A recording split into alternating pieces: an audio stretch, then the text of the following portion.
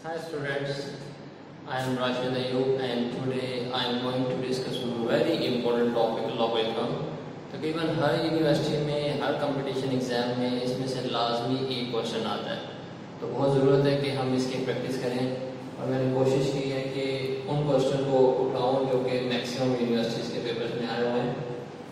First of all log three by minus one is equal to log two y आप यहाँ पे देख सकते हैं कि बेस नहीं गिवन अगर आपको बेस नहीं गिवन तो आपने सेम बेस कंसीडर कर लेनी और इक्वल लॉगरिथम की डेफिनेशन को इस्तेमाल करते हुए थ्री बाई माइनस वन को टू वाई के बराबर रख लेना है।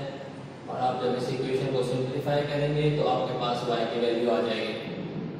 दूसरा question two log base 5 x is equal to 4 and I want to find out the value of x इस तरह के जो क्वेश्चन होते हैं, पहले आप इसको सिंप्लीफाई करते हैं टोटली लॉगरिथम के फॉर्म में लेते हैं। तो हमने क्या किया, ये टू था पहले दोनों तरफ़ टू से डिवाइड कर दिया।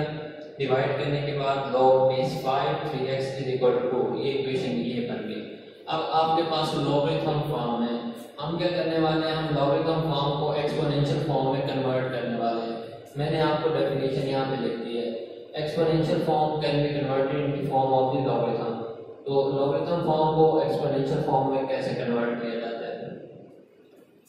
तो फाइव बेस है, बेस फाइव और बी टू आपके पास स्क्वायर में आ जाएगा, पावर में आ जाएगा, और थ्री एक्स सेपरेट हो जाएगा अकॉर्डिंग टू दिस डेफिनेशन अब आप देखें five square twenty five three x and you can simply calculate the value of x another question आपके पास वाला दो या तीन लॉगरिथम की वैल्यूज़ दे दी जाती है, और किसी एक लॉगरिथम के लिए उसका रिज़ल्ट पूछ लिया जाता है। तो जब आपके पास ऐसा हो जाए तो फिर आपने कोशिश करनी है कि जो भी नंबर आपके पास हो, आप उसको उन्हीं नंबर की प्रोडक्ट की फॉर्म में लेके जाए। तो जैसे कि आप देख सकते हैं, अगर लॉग क्वांटिटी मुझसे पूछा गया तो मैंने क्या कोशिश की है? मैंने जो गिवन लॉगरिथम है उसकी फॉर्म में, उसको ले गया प्रोडक्ट की फॉर्म में। और इंडिया टेन बचा क्योंकि मेरे पास बेस यहाँ पे टेन थी। अभी मैं आपको इसका भी बताता हूँ। इन शॉर्ट अब मैं इन दोनों के ऊपर लॉग अप्लाई कर दिया with base ten log logarithm की प्रॉपर्टी इस्तेमाल की टू का लॉग लेना थ्री स्क्वायर का और टेन का, क्योंकि ये मल्टीप्लाई हो रहा है तो सम किए जा सकते हैं लॉग अप्लाई करने के बाद। अब देखिए लॉग की एक और मतलब प्रॉपर्टी है कि जो भी आपके पास यहाँ पे वो लॉग की बैक साइड पे आ जाता है पावर बिहाइंड आ जाती है। तो अब आप देखिए लॉग बेस टेन टू आपके पास किसके बराबर है एक्स के? और log three base ten which is equal to y और ये जो टू है जब पीछे चला गया टू वाई हो जाएगा। और हमेशा याद रखिएगा, किसी भी नंबर का जब आप लॉग लेते हैं, उसी नंबर की बेस के लिहाज से वो वन के बराबर होता है। तो यहाँ पे देखें, आप टेन का लॉग लेने जा रहे हैं, बेस भी टेन है, इसलिए ये वन हो गया।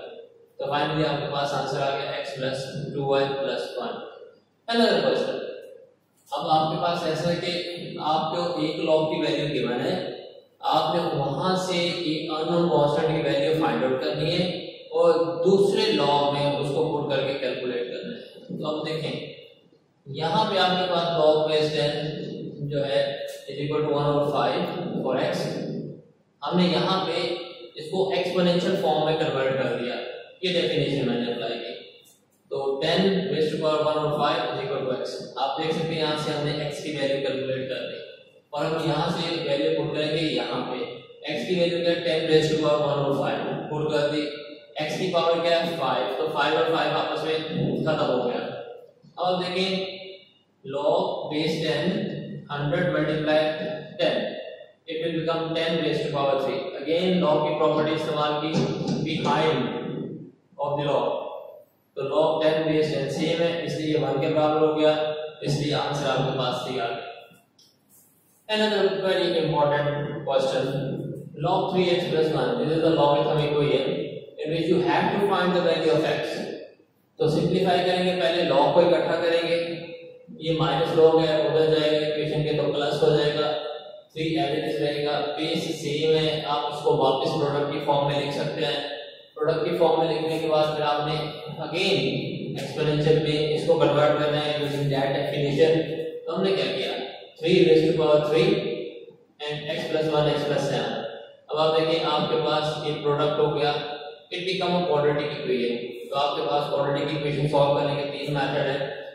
तो दो मतलब तरीके या तो आप क्वाड्रेटिक इक्वेशन को सॉल्व कर लें, या फिर आपको जो सॉल्यूशन दिया हो वो आप पुट करके इक्वेशन को सेटिस्फाई करवा दें। यहाँ पे मैंने क्वाड्रेटिक इक्वेशन को सॉल्व किया है।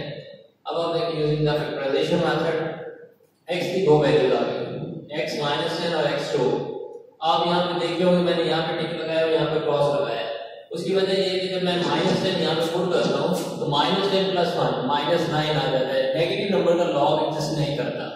इसलिए ये नंबर सोल्यूशन का हिस्सा नहीं होगा।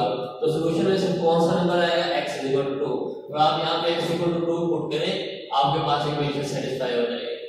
Another important question when a logarithm is given to you base is that is a natural logarithm a log x 1 a we have to solve this equation for the value of x uh, अब आप देखें a log 2x 1 जब plus three कर गया eleven में से minus हो गए एट रह गया। Both side divided by 8 you will get 1 and this logarithm can be written as log e uh, 2x minus 1 is equal to 1 फिर logarithm को वापस एक्सपोनेंशियल फॉर्म में कन्वर्ट करने जा रहे हैं। डेफिनेशन बहुत इंपॉर्टेंट है यहाँ पे। तो आपने डेफिनेशन को बहुत ज़्यादा फोकस करना है। तो e raise to power 1 is equal to 2x minus 1 जब ये माइनस दूसरी साइड पे गया तो e प्लस 1 हो गया। फिर टू को डिवाइड किया तो आपके पास x की वैल्यू आ गई. Thank you very much